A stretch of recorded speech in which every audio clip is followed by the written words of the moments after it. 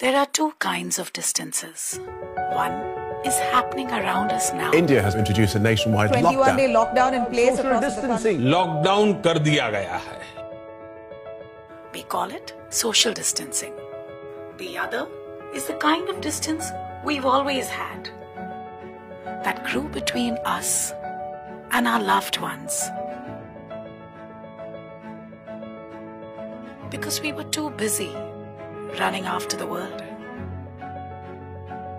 But now we've been forced to stop running. And maybe that's a good thing. For now, we have a chance to take back what we lost. A chance to refuel our relationships. So for the next few weeks, do something you haven't done in a long time. Dust off the old board game your family loved to play. Surprise your spouse with a romantic meal at home. Call your parents the way you used to as a child. Every single day. Tell your kids tall tales, or better yet, let them regale you with theirs.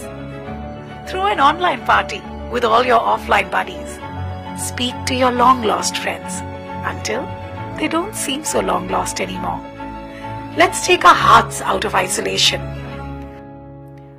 In a time of social distancing, let's cover the distance. And while you're busy covering the distance, you won't have to worry about your health.